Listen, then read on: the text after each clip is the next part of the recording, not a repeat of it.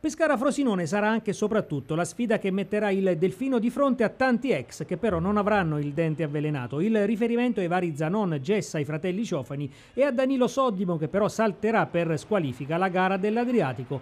È chiaro che davanti ai loro ex tifosi gli attuali laziali vorranno fare bella figura e possibilmente risultato, sapendo però che troveranno di fronte una squadra che non starà a guardare. Marco Barone avrà assenze pesanti, Bjarnason, Boldor e Memushai saranno out perché impegnati con le rispettive nazionali. Lazzari è squalificato mentre preoccupa Melchiorri che ha problemi alla schiena.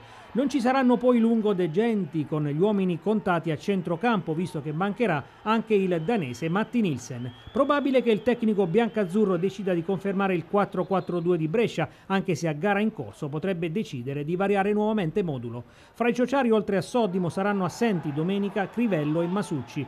Quella del prossimo turno sarà una sfida Abruzzo-Lazio. Se Delfino se la vedrà infatti col Frosinone, la Virtus Lanciano giocherà a Latina.